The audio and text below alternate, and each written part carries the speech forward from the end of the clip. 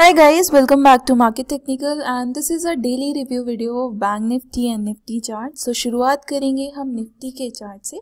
Screen पर आप देख रहे हैं निफ्टी का डेली चार्ट निफ्टी के डेली चार्ट पे हमने एक इंपॉर्टेंट सपोर्ट फाइंड आउट किया था वो था 11,220 से 11,180 का। आप चाहें तो वो पिछला वीडियो जाके देख सकते हैं आपको पता चलेगा कि किस तरह से हमने ये लेवल्स फाइंड किए थे। मैंने आपको बताया था कि क्योंकि ये इंपॉर्टेंट सपोर्ट जोन है तो हमें यहाँ से बाउंस बैक देखने को मिल सकता है। लेकिन वो जो बाउंस बैक होगा, वो एक टेम्परेरी बाउंस बैक होगा, आपको दोबारा से वहाँ पर सेलिंग देखने को मिल सकती है। तो आपने अगर आप प्राइस एक्शन नोटिस करें पिछले दो सेशन का तो सबसे पहले हमें की रिवर्सल कैंडल बनती हुई नज़र आई सपोर्ट पे, जिसने फर्दर कंफर्म किया कि हमें यहाँ पर बाउंस बैक देखने को मिल सकता है। और आज का सेशन अगर आप देखें तो आज का सेशन एक गैप अप ओपनिंग था। लेकिन जो गैप अप ओपनिंग थी, वो एक रेसिस्टेंस के आसपास थी। ये रेसिस्टेंस लेवल भी हमने पिछले वीडियो में डिस्कस किए हैं। आप चाहे जाकर उसको देख सकते हैं कि रेसिस्टेंस लेवल्स क्या क्या थे। तो जो इसका पहला रेसिस्टेंस था, वो था ग्यारह हज़ार तीन सौ बीस के आसपास। और निफ्टी की जो आज ओपनिंग हुई थी ओपनिंग थी करीब तीन सौ सात के आसपास, ग्यारह हज़ार तीन सौ सात के आसपास। तो उसके बाद निफ्टी में हमें फॉलो अप एक्शन मतलब आगे तेज़ी का मूव होता हुआ नज़र नहीं आया, बल्कि ओपनिंग के बाद हमें यहाँ पर गिरावट लगातार देखने को मिली और निफ्टी अपने लो के आसपास आज क्लोज हुआ। लेकिन आप जो क्लोजिंग देख रहे हैं वो सपोर्ट जोन के अंदर अंदर हुई है। क्लोजिंग आपकी है 11,190 के आसपास और हमारा जो सपोर्ट जोन है वो है 11,180 से 11,220 तो हम सपोर्ट जोन के अंदर निफ्टी अभी भी सपोर्ट जोन के अंदर ही ट्रेड कर रहा है। और अगर आप यहाँ पर ये कैंडल देखें ये कैंडल एक लंबी मंदी की कैंडल है। और उससे पहली कैंडल देखें तो एक ग्रीन कैंडल है राइट और ये वाली कैंडल ने पिछली कैंडल को पूरी तरह से इनगल्फ कर लिया है। तो ये जो कैंडल है एक लास्ट इनगल्फिंग कैंडल हो सकती है क्योंकि ये सपोर्ट पे फॉर्म हुई है। और आपने देखा कि ये ग्रीन कैंडल है और ये एक ब्लैक कैंडल है राइट सो so, ये दोनों कैंडल मिलकर बन जाता है last engulfing candle so so, यहाँ पर जो बाउंस बैक की प्रोबेबिलिटी अभी भी बनी हुई है क्योंकि ये दोनों कैंडल एक बुलिश पैटर्न है और सपोर्ट पे फॉर्म हुआ है। आरएसआई से हमें वैसे यहाँ पे कोई इंडिकेशन नहीं मिल रही है। सो so, यहाँ पर हमें अभी भी पुल बैक देखने को मिल सकता है। अभी भी बाउंस बैक यहाँ पर चार्ट्स पे प्रोबेबिलिटी पूरी तरह से बनी हुई है। राइट? तो चलिए अब हम चलते हैं यहाँ पर डेली चार्ट वो आर्ली चार्ट पर और देखते हैं वहाँ पर किस तरह का प्राइस एक्शन हमें देखने को मिला। उससे पहले हम बोलेंजो बैंड्स भी देख लेते हैं ताकि हमें जो ट्रेंड है ट्रेंड की स्ट्रेंथ है वो भी पता चल सके। सो so, बोलिंजर बैंड्स अगर आप देखें तो यहाँ पर प्राइजेस लोअर बैंड के साथ साथ ट्रेड कर रहे हैं बट उसको राइट नहीं कर रहे।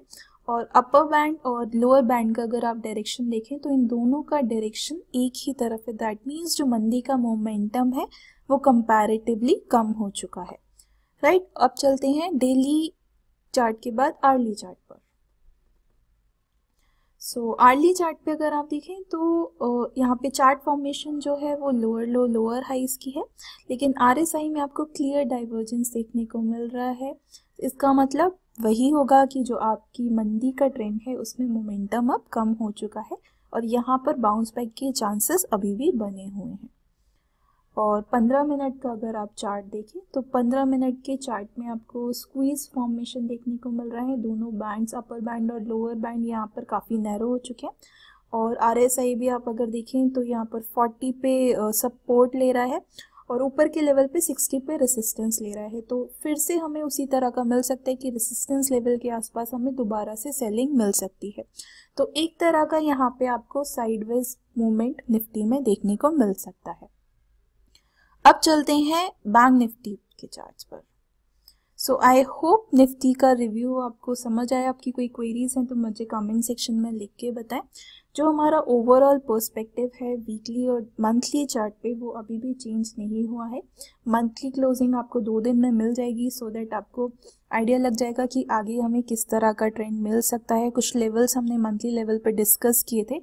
अगर उसके ऊपर क्लोजिंग आती है या फिर उसके नीचे क्लोजिंग आती है, तभी उस बेसिस पे हम अपना व्यू दोबारा से डिस्कस करेंगे। तो चलिए चलते हैं बैंक निफ्टी के चार्ट्स पर। सो so, ये निफ्टी का आप डेली चार्ट देख रहे हैं और निफ्टी का डेली चार्ट पे भी हमने यहाँ पर सपोर्ट लेवल्स फाइंड आउट करे थे और ये सपोर्ट लेवल्स थे अट्ठाईस हज़ार नौ सौ पाँच के अट्ठाईस हज़ार सात सौ अस्सी के। सो so, इसको भी हमने डिटेल में डिस्कस किया था कि कैसे हमने फाइंड आउट किया। आप चाहे तो वो वीडियो जाकर देख सकते हैं। लिंक आपको डिस्क्रिप्शन और कमेंट सेक्शन में मिल जाएगा। सो so, इस लेवल से क्योंकि इंपॉर्टेंट सपोर्ट लेवल्स थे तो यहाँ से हमें बाउंस बैक देखने को मिला। पिछली तीन कैंडल्स जो आप देख रहे हैं, इन तीनों को मिलके यहाँ पे बन गया था मॉर्निंग स्टार कैंडलस्टिक पैटर्न जो एक बुलिश कैंडलस्टिक पैटर्न है, जो इंडिकेट कर रहा था कि यहाँ पर बाउंस बैक आपको और भी देखने को मिल सकता है। तो आज के सेशन में आपने देखा कि एक गैप अप ओपनिंग हुई, लेकिन हमें फॉलो अप मूव देखने को नहीं मिला। फॉलो अप इसलिए नहीं देखने को मिला क्योंकि ऊपर के लेवल पे आपको यहाँ पर रेसिस्टेंस देखने को मिल रहा है। ये जो आप गैप देख रहे हैं, ये एक फॉलिंग गैप है और फॉलिंग गैप आने वाले मूव के लिए एक अच्छा रेसिस्टेंस का काम करता है। तो निफ्टी के लिए ये जो लेवल है, ये जो जोन है, उनतीस सौ उनतीस हज़ार का एक अच्छा रेसिस्टेंस का काम कर सकता है। तो अच्छा खासा ये रेसिस्टेंस है, आप इस लेवल्स को ध्यान रखें। अगर आप स्विंग ट्रेड करते हैं तो और अगर आप इंट्राडे ट्रेड भी करते हैं तो ये लेवल्स आपके लिए इंपॉर्टेंट हो सकते हैं, क्योंकि आपको पता है रेसिस्टेंस कहाँ है। और रेसिस्टेंस पे अगर आपको इंट्राडे पे प्राइस एक्शन ऐसा मिलता है कि वहाँ पे आपको रेसिस्टेंस लेता हुआ दिख रहा है, कुछ बियरिश कैंडल्स बन रही हैं सो आप उस हिसाब से अपना ट्रेड प्लान कर सकते हैं। तो रेसिस्टेंस लेवल सपोर्ट लेवल्स आप हमेशा ध्यान रखें, भले ही आपको वो पोजिशनल लेवल पर मिल रहे हों या स्विंग लेवल पर मिल रहे हों रेसिस्टेंस रेसिस्टेंस होता है और इंट्राडे पे भी वो लेवल्स काम करते हैं। सो so, आपने देखा कि आज की जो क्लोजिंग हुई वो अपने लो के आसपास ही हुई और अगर आप पिछली कैंडल का क्लोज देखें पिछली कैंडल का क्लोज था उनतीस हज़ार तीन सौ पच्चीस का और आज की कैंडल का जो क्लोज है वो है उनतीस हज़ार टू नाइन्टी फाइव का तो करीब करीब सेम लेवल है अगर आप यहाँ पर देखें। और आर एस आई से अगर आप यहाँ पे कोई इन्फॉर्मेशन ले तो बहुत ज़्यादा इन्फॉर्मेशन नहीं मिल रहा है। तो डेली चार्ट बेसिकली आपको एक साइडवेज एक्शन यहाँ पर दिखा रहा है कि ऊपर के लेवल पे आपको बिग वाली देखने को मिल रही है और नीचे के लेवल पे आपको मंदी देखने को मिल रही है। तो एक साइडवेज एक्शन आपको देखने को मिल सकता है। इस पर बोलेंजो बैंड्स भी प्लॉट करके देख लेते हैं। सो बलिंजा बैंड्स अगर आप देखें तो ये लोअर बैंड से काफ़ी यहाँ तक आ चुका है। अगर ये वाला लेवल जो हम रेसिस्टेंस का देख रहे हैं, अगर ये वाला लेवल क्रॉस होता है तो नेक्स्ट रेसिस्टेंस जो है, जो काफ़ी इंपॉर्टेंट है बैंक निफ्टी के लिए वो है तीस हज़ार दो सौ तीस से तीस हज़ार दो सौ बीस का। सो ये लेवल अगर बैंक निफ्टी निकालता है तो ये जो मंदी आप देख रहे हैं, ये मंदी यहाँ पर हो सकता है कि ये मंदी यहाँ पर कंप्लीट हो चुकी है। तो ये दोनों लेवल्स आप ध्यान में रखें, लेकिन ये जो लेवल्स हैं, तीस हज़ार दो सौ तीस से तीस हज़ार दो सौ बीस के, ये काफ़ी ज़्यादा इंपॉर्टेंट है। राइट अब चलते हैं आर्ली चार्ट पर।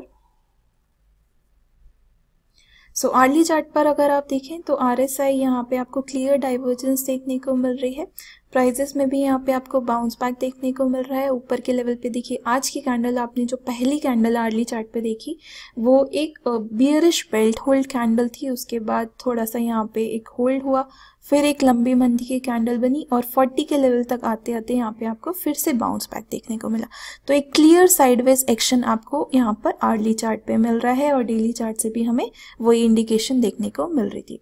और बोलिंजो बैंड्स भी अगर आप देखें तो यहाँ पे ये नैरो होते हुए नज़र आ रहे हैं, जो फर्दर इंडिकेट करता है साइडवेज एक्शन और आप पंद्रह मिनट का चार्ट देखें तो 15 मिनट के चार्ट पे भी आपको ये स्क्वीज फॉर्मेशन देखने को मिली। आप ये 15 मिनट की इनफैक्ट अगर आप जैसे आज की कैंडल ये ट्वेंटी नाइन्थ जुलाई यस ये ट्वेंटी नाइन्थ जुलाई की ये पहली कैंडल है। अगर आप पहली कैंडल देखें पंद्रह मिनट की तो एक बियरिश बोजो कैंडल था जो रेसिस्टेंस पे फॉर्म हुआ था। तो अगर आप इंपॉर्टेंट इंट्राडे ट्रेड करते हैं तो ये लेवल्स आप ध्यान में रख सकते हैं। इंपॉर्टेंट लेवल्स हैं और उन लेवल्स के आसपास आप प्राइस एक्शन को नोटिस कीजिए राइट सो so, उसके बाद आपने देखा कि यहाँ थोड़ा थोड़ा यहाँ पे आपको बहुत स्मॉल कैंडल्स यहाँ पर बनती हुई नज़र आई जिसका मतलब जो मंदी का मोमेंटम है वो यहाँ पर बहुत अच्छा नहीं है।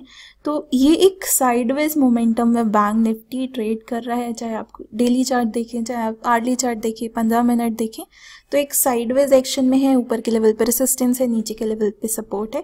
क्योंकि हमने मंथली लेवल पर डिस्कस किया था कि बैंक निफ्टी के इंपॉर्टेंट लेवल के आसपास है। मंथली क्लोजिंग इस मंथ की काफ़ी इंपॉर्टेंट है। हमें देखना होगा कि वो लेवल्स यहाँ पर होल्ड होते हैं या ब्रेक होते हैं। तो आज 29 जुलाई है, दो ट्रेडिंग सेशन और बचे हैं तो बेहतर यहाँ पे आप वेट एंड वॉच करें।